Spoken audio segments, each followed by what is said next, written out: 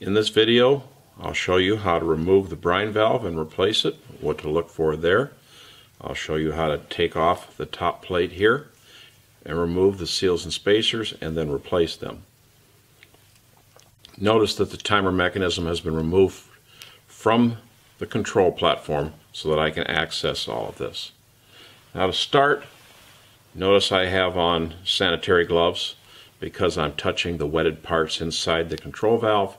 I do not want to cross-contaminate. Never put unprotected hands inside someone's water system, inside what are called the wetted parts, the parts that actually touch the potable water on this source. Okay?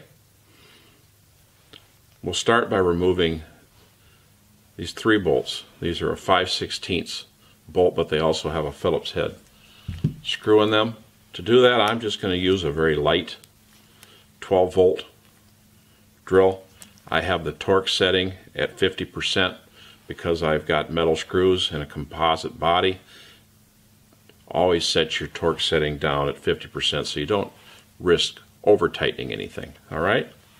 Making sure my drill goes the right way. Quickly remove these.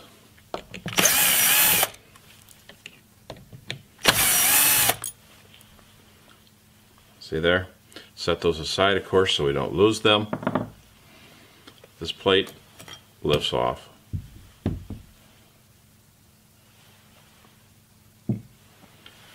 Next thing you do is remove the piston. What you want to do is start removing this. You want to make sure that there's, there's seals and spacers inside this body. You want those to stay in place after you pull this off because if you're doing a diagnostics, you want to see if there's debris in there, if there's any plugging, any rip seals, if there's something mechanically going on inside this control valve that we need to be aware of because we're doing a troubleshoot, we're doing a diagnostics, and to be able to see what's going on, we need to see how everything lays inside the system. So just gently lift this up. See how that moves up and down on this rod? Okay, lift that up. Get your fingers down in here and hold your seals in place and then gently remove the piston. You would want to look at this piston, look for any scratching, any wear, any damage at all to this, which would allow water to escape around the seals inside the control valve. If that were to happen, the system would malfunction. So that's the first thing you look at. That's your piston. Inside here are seals and spacers. And it, it starts with a seal. It ends with a seal. All right? So seal, spacer, seal. See that? Seal, spacer, seal, all the way through to the bottom of the control. Remove those.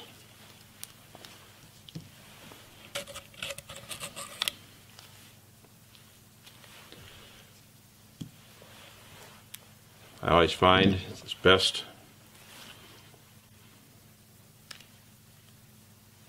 get a light, look down, examine what's going on inside the control. It's difficult to see. I'll pull this back. See down in there? You'll want to examine your control looking for anything that's stuck in there, anything that's worn, anything that looks out of place. Another seal.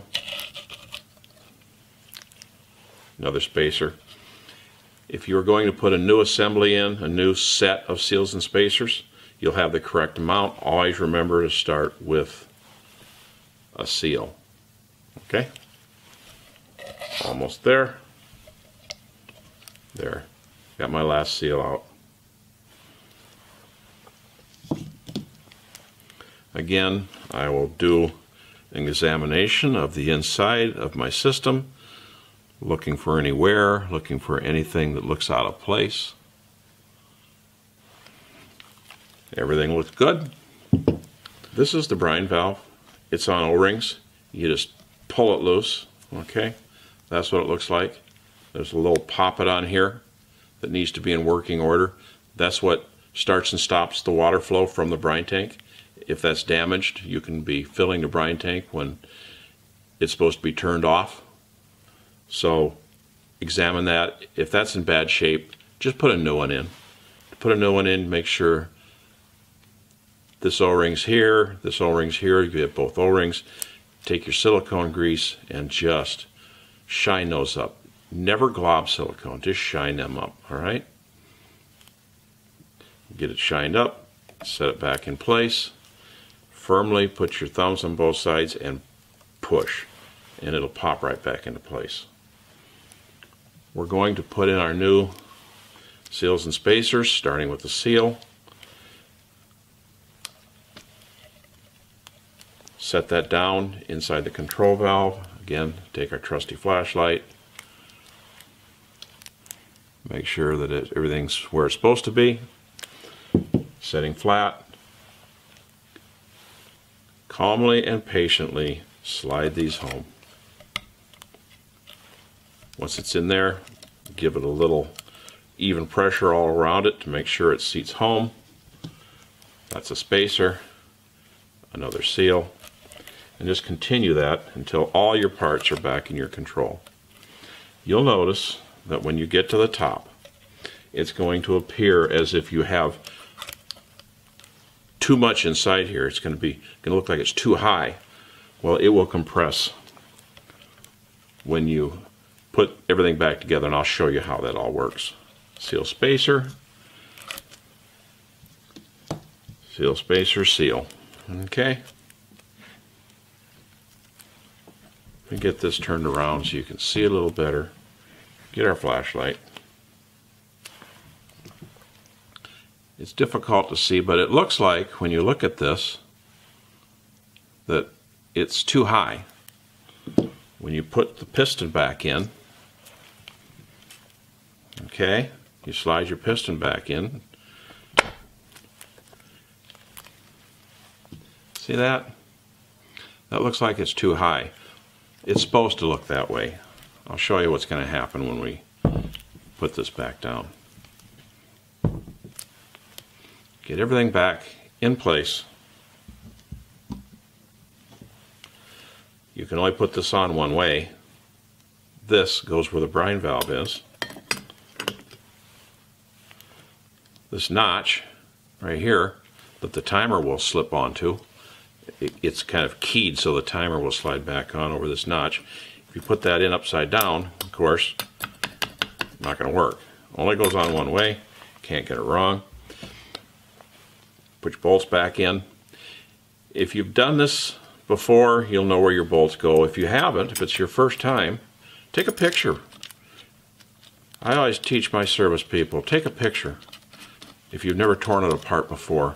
So you know how it goes back together. If you take a picture and you know how it was before you started, you'll know how it should be when you're done.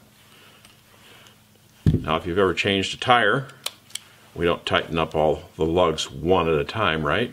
We go around in a crisscross pattern. We do that here too, just a little bit, a little bit, a little bit.